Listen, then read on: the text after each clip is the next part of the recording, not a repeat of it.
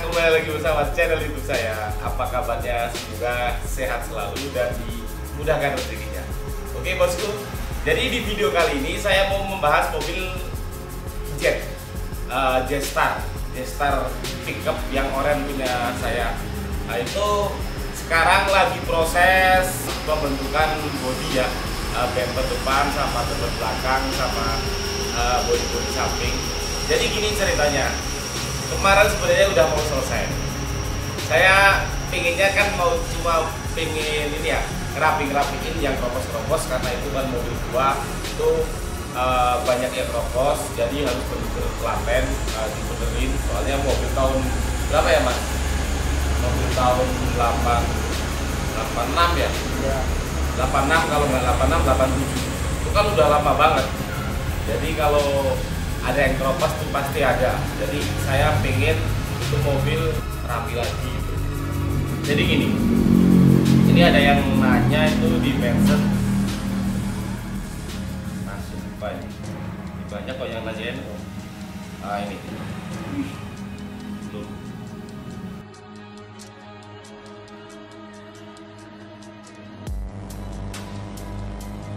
nah ini. Ini dari Mas Ian Boci Mas Ian Boci dua ini tanya kapan si Oren tayang kembali Mas?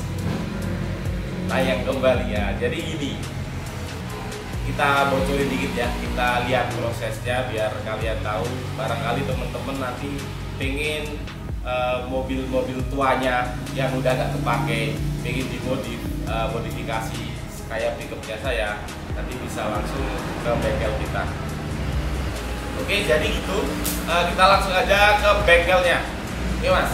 Yuk silakan silakan terus. Jadi kita langsung aja ke bengkelnya langsung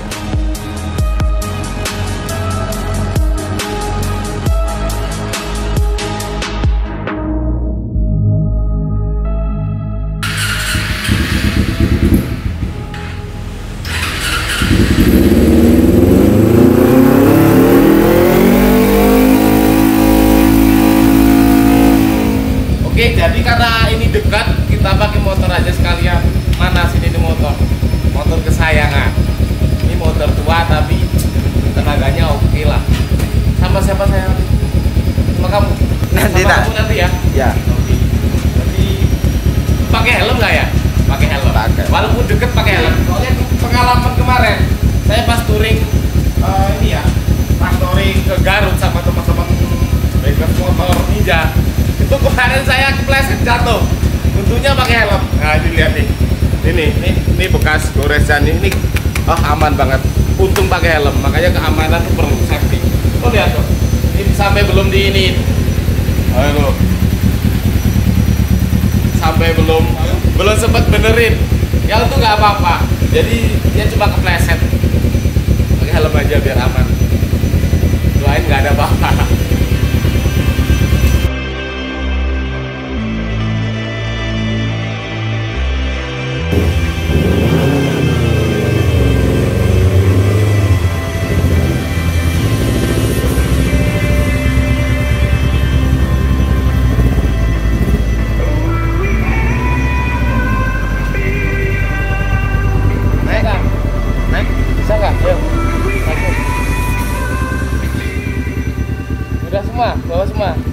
jadi cuacanya itu Wonosobo sekarang lagi ini apa tuh Eh, mendung ya Berawan. Hah? Berawan. berawan mendung tapi adem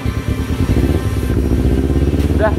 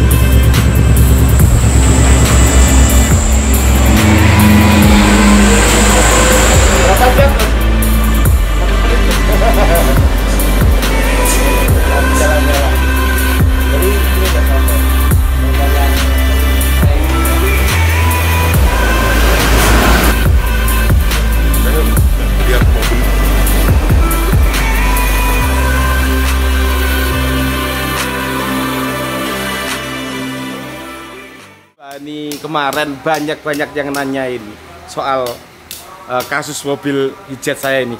Ya Pak Mail. ini Pak Mail yang bertanggung jawab nih.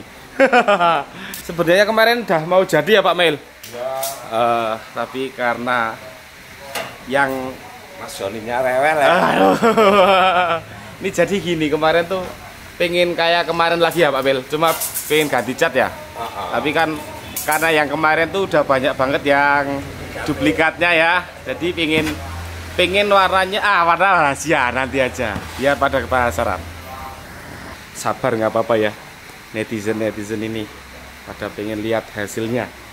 Kemarin sebenarnya udah mau jadi tinggal mau ngangkat cat. Tapi karena berhubung saya pengen desain yang baru nah kemarin selesai udah digambar. Nah, ini kemarin kan udah jadi kan? Nah, ini kita potong lagi kita potong lagi. Terus ya nantilah. Pokoknya kalau jadi mudah-mudahan hasilnya maksimal dan mudah-mudahan ya ideal. Pak Mail ini pinter banget ya. Nah, ini lagi bikin bumper belakang. Proses bumper belakang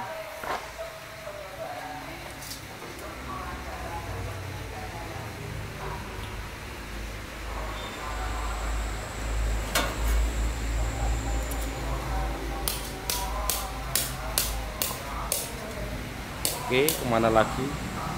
Dari belakang masih tetap, cuma nanti ini. Nah, ini ntar kita kasih audio semuanya. Lihat, nah ini udah selesai dirapikan ya. Nah, SL-SL pintu juga kemarin sempet ada yang keropos sedikit, maklum mobil tua. Terus nih di atas nanti uh, kita pakein sunroof punya RB1 karena itu ini mobilnya digantung loh. Diangkat. Ini di situ aja juga mobil apa ini? Mobil klasik juga. Tapi saya nggak tahu namanya apa. Nah, ini nanti bentuk sunroofnya. D nih nanti kalau buat pada dada-dada ini udah oke okay lah. Kepalanya udah bisa keluar. Ini juga ada mobil pickup L300 yang kemarin. Ini kenapa Pak Mail? Mobil ini Pak Mail. Yang L300 oh nubruk. Ini direparasi. Dipenyok nih kemarin. Ini ganti daunnya nih. Ini ada Pak Sopingi juga nih. Lagi apa Pak Sopingi? Aduh. Ini lagi bersih bersih. Bersih bersih. Tanduk. Tanduk. Ini buat apa? Penter ya? Iya. Hmm. Penter tahun berapa nih Pak?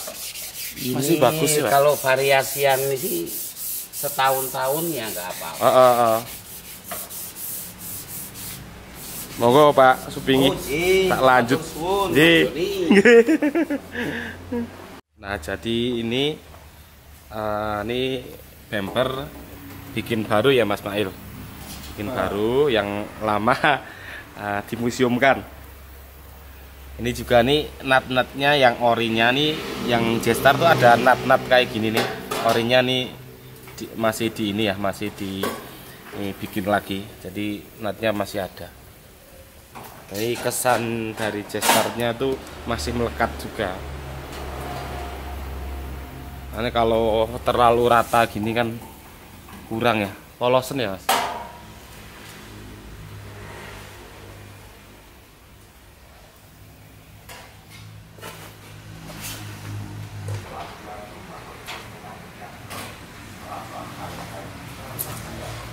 Lihat di sini.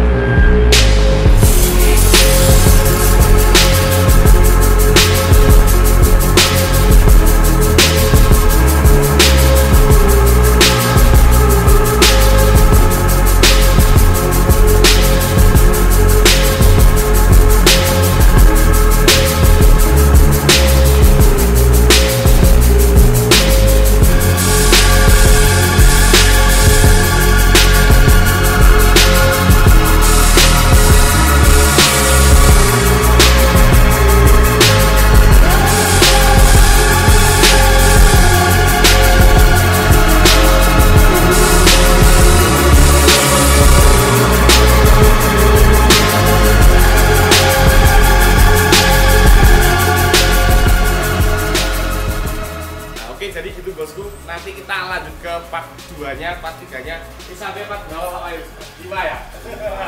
Part 5 nanti sampai interiornya juga nanti. Oke okay? Assalamualaikum warahmatullahi wabarakatuh. Jangan lupa di subscribe channel youtube saya. Jangan lupa di like. Oke okay, Assalamualaikum warahmatullahi wabarakatuh